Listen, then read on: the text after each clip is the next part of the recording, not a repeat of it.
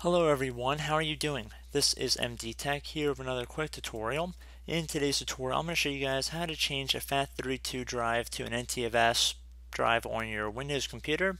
So this should be a fairly straightforward tutorial, and without further ado, let's jump right into it. So we're going to start by opening up the Start menu, and you want to type in this PC. Best match should say this PC right above Desktop App. You want to left click on that one time.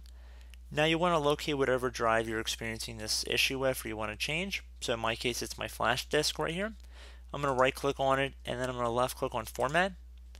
Please keep in mind we're going to format this flash drive so any data, files, or information that's stored on the drive currently will be removed through this process.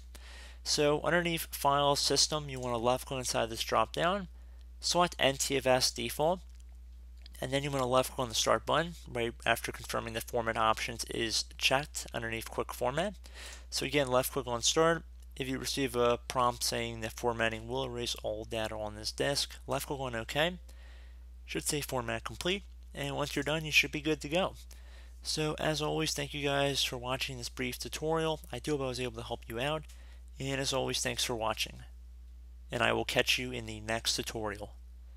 Goodbye.